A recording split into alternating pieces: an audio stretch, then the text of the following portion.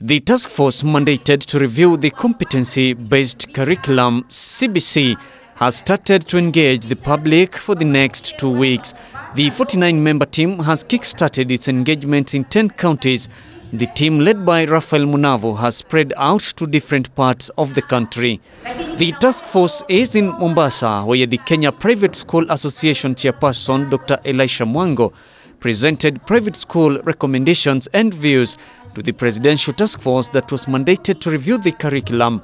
Accompanied by the association county assistant secretary Rukia Abafai, Mwango asked the government to address grey areas in the CBC before its implementation.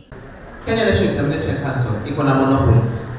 We want a framework other players to come in. Proper legal framework, the curriculum. Diversity itatusaidia, lakini NEC imekuwa na monopoly, is doing good work, but let's allow other players to come in.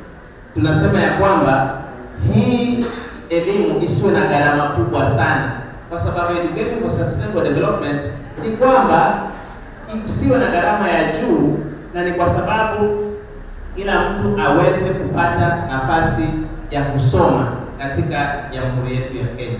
Parents too want the government to consider the post-COVID economic hardships as it considers to review CBC requirements.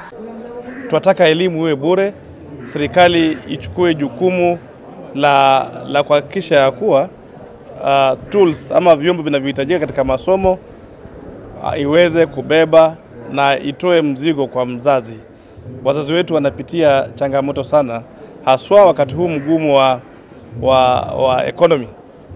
Uh, tunapitia changamoto nyingi sana na wakati, wazazi wamepoteza kazi wakati tumekuwa na COVID-19 na saa hii tunaishi katika post, post COVID. Hakuna aliyefanya utafiti kutaka kujua, je, wazazi katika hali yao ya uchumi wanaendelea kivipi? I propose that for the new curriculum to be a success in capturing emerging issues, it must be continuously reviewed to ensure that it meets the requirements of preparing learners for the modern world. Technical University of Mombasa Vice Chancellor Leila Abubakar said the task force is ready to learn and understand the difficulties that schools and parents are facing during the implementation of CBC. ni kama kulikuwa na inadequate training vile tunavyo tulivyojionea sisi kule na katika vile tulivyoona, lakini shida kubwa pia ni infrastructure. Mpaka saa hii ya hiyo CBC au grade 6 ndio iko na changamoto katika hizo shule.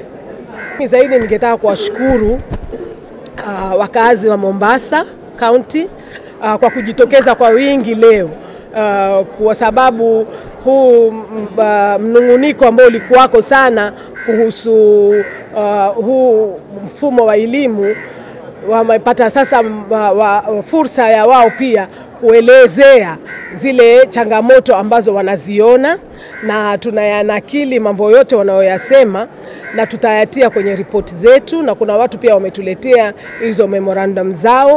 Uh, tunataka kuhakikishia kuwa kila wanachokisema pia tutakinakili na tutakiitia kwenye ripoti yetu. Leila said each school has its own difficulties and the task force will come up with favorable recommendations for all. Changamoto ama challenges uh, ambazo ziko zina zinatofautiana kulingana na zile, maanake zile za chechea unakuta uh, wengi wameijua hii, hii mfumo wa elimu na wameweza ku, ku, ku, ku, ku tam- taf- tathmini vizuri. Sasa alafu kuna wale wa grade 1 mpaka grade 6 ukienda zile shule zile unakuta ndio pia wame, wameweza kufanya, lakini ni kama ambao walimu pia hawajaielewa vizuri huu mfumo. The team's next stop will be Isiolo, Wajia and Laikipia. Kaindo Stefano, Ebru TV.